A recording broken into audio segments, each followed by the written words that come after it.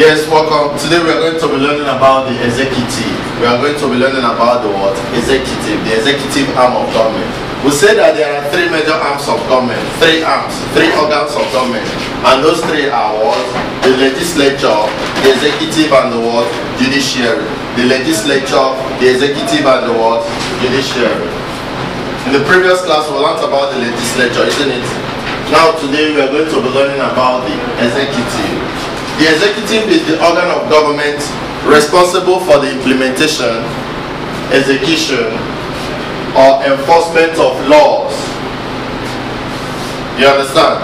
The executive is the organ of the government that is responsible for the implementation, execution, and enforcement of laws, policies, and directives which are given by the legislative arm of the government. Is that clear? So when the laws are made by the legislature, you understand? It is the duty of the executive to make sure that the laws are what enforced, to make sure that these laws are what implemented, to make sure that these laws are what executed. And the main man in the executive is the president, I hope you know, and the governor. So it is their duty to implement the laws, implement the laws.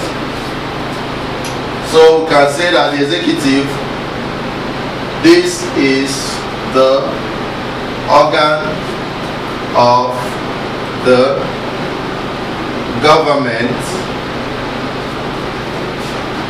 responsible for implementation, comma, execution, comma, and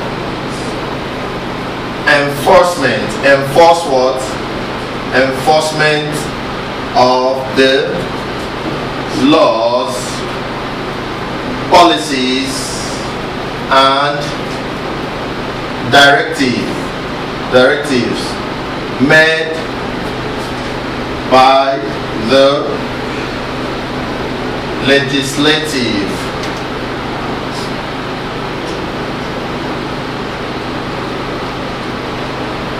arm of government. So the executive is the organ or the arm of government that is responsible with the implementation, execution and enforcement of the laws, policies and directives that are made or given by the what? Legislative. Legislative arm of government. Is that clear? Is that clear? Now we're going to look at the functions and importance of the executive. What are the functions and importance of the executive arm of government? What are the functions and importance? Number one is that they do what? Execution of the law. That's their number one function. They execute the laws. The executive arm of the government execute the laws. How do they do this? When the legislature says that any human being that kills a fellow human being must die, that's the law they passed in the National House of Assembly, isn't it?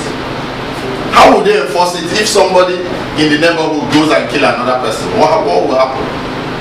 It is the duty of the executive to make sure that that law is enforced by making sure that the police goes and arrests that person, is it not? And maybe make sure that the person faces life imprisonment or firing squad, isn't it?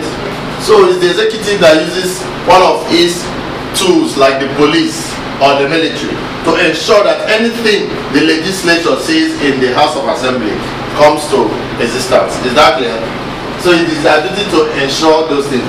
If the House of Assembly says that every part of Nigeria should get 20 percent or so and so so percent from the oil that Nigeria sell abroad. What happens? It's the duty of the executive to get that money and share it, is it not? So the executive executes the law, whereas the House of Assembly or the legislature makes the word law. Is that clear? Number two function is giving assent to bills. Giving assent towards bills. Giving assent towards bills. Is that clear? When the legislature in their chambers, like the National Assembly, the Senate, or the House of Representatives, when they make a law, or when they make a law, you understand, when they pass a bill, that bill has not become a law until the president does what signs it. Until the president does what signs it. Until the president gives assent to the bill. The president gives assent to the bill by doing what? By signing it. By signing it into law. By doing what? By signing it into law. So that's another function of the executive. Then another function of the executive is military function. Is the what? military function. It is the duty of the executive to, main, to maintain the armed forces. You understand?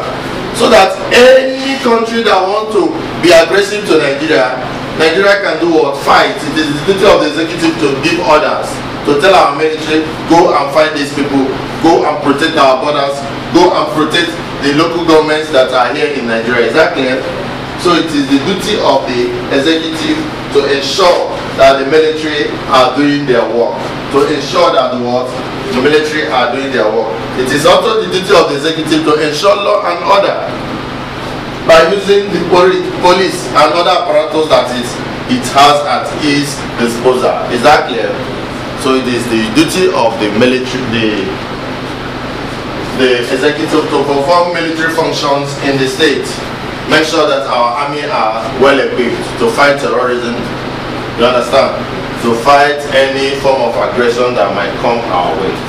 It is the duty of the military to ensure. You understand? And you know that the president, who is the number one man in the executive council, is also the commander-in-chief of the armed forces, is it not? So it is his duty to give orders, give our military orders, say go and fight, go and protect, go and make sure that this place is in order. Is that clear? So the, uh, the executive performs a military function. Functions and importance of executive. Number one, execution of law. They make sure that the laws that are passed in by the legislature are executed. Number two, giving assent to bills by signing the bills. Number three, performing military what? Functions. Number three, performing what? Military what? Functions. Performing military what? Functions. Is that clear? Thank you.